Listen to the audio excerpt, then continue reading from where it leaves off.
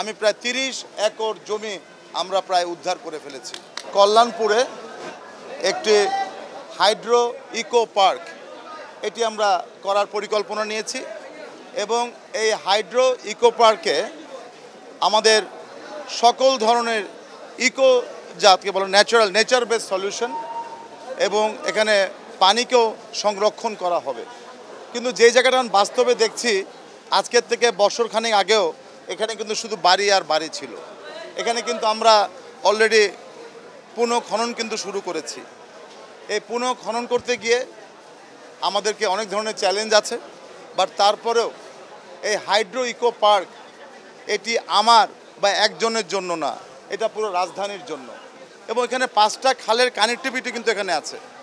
তারপরে এখানে একটা আমরা যেটাকে বলা হয় যে এই সমস্ত পানিগুলাকে এখানে আসবে। এটাকে এটাকে বলা হয় বৃষ্টি ধারণ অঞ্চল অথবা রিটেনশন পন্ড বাংলা বলা হয় বৃষ্টি ধারণ। যত বৃষ্টি পড়বে, এই রিটেনশন পন্ডের মধ্যে পানি আসবে। এরপর আমরা পাম্প করে এটিকে আমরা নিয়ে যাব তুরাগ নদীতে এবং এলাকাতে কোনো জলবদ্ধতা হবে না। কিন্তু বাস্তবে এটা যদি ঠিক করতে না পারি আমরা, তাহলে অবভিয়াসলি আমরা কিন্তু একটা অংশ যেরকম আমাদের মোহাম্মদপুরের একটা অংশ মিরপুরের একটা অংশ, কল্যাণপুর, শেওড়াপাড়া কিন্তু পানি হলে ডুবে যাবে। এবং সবচেয়ে বড় কথা হচ্ছিল, এখানে যে বাহান্ন একর জমি আছে, ঢাকা ওয়াসা যেটা দাওয়া ছিল, ওই সময় ওনারা এটাকে উদ্ধার করতে পারে নাই। কিন্তু আমরা ইতিমধ্যে আপনারা জানলে খুশি হবেন, আমি প্রায় তিরিশ একর জমি আমরা প্রায় উদ্ধার করে ফেলেছি। দিস ইজ নাম্বার ওয়ান আমাদের একটা হলো ওয়াসার, আর একটা হচ্ছে ঢাকা উত্তর সিটি কর্পোরেশনের। এখানে উত্তর সিটি কর্পোরেশনের দুই ধারেও কিন্তু জায়গা আমাদের আছে ওইটিও কিন্তু দখল এখানে।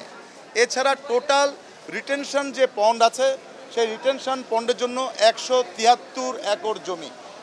এই একশো তিয়াত্তর একর জমির মধ্যে এখানে প্রায় একশো দশ একর জমি হচ্ছে হলো আমাদের বিএডিসির কিন্তু বিএডিসিকে পরিষ্কার পরিষ্কার আইনে বলা আছে বিএডিসিকে এই জায়গা দেওয়া হয়েছে রিটেনশন পন্ডের জন্য। কিন্তু শীতকালে এটা হবে বীজতলা। আমি আবার বলছি, এটা জলাধার আইনে, এটি হলো সম্পূর্ণভাবে একটা জলাধার রিটেনশন পন্ড এবং এখানে কোনো ধরনের তারা কিন্তু বিল্ডিং করতে পারবে না, এটি তারা করতে পারবে একমাত্র বীজতলা হিসাবে। কিন্তু ভেরি আনফর্চুনেট এটিও তারা যদি বিল্ডিং করে ফেলে, তাহলে এই যে আমি যে এলাকাগুলোর নাম বললাম, এগুলোতে কিন্তু বর্ষার সময় নিমজ্জিত থাকবে। তাই আমার অনুরোধ হচ্ছে হলো, আমরা যেভাবে সরকারের পক্ষে কাজ করে এখানে একটা হাইড্রো ইকো পার্ক করব এবং ইকো পার্ক যত বেশি বড় হবে এলাকাবাসী তত বেশি সুফল ভোগ করতে পারবে। আমরা যেটা বলেছি যে আমরা আগামী দুই বছরে উত্তর সিটি কর্পোরেশন থেকে আমরা দুই লক্ষ গাছ লাগাবো। আমরা বলেছি যে আমরা খালগুলোকে পুনঃ খনন করব এবং দখল মুক্ত করব। তারই প্রমাণস্বরূপ কিন্তু আজকে যেগুলো দখল ছিল, এগুলো কিন্তু উচ্ছেদ করা শুরু করেছি।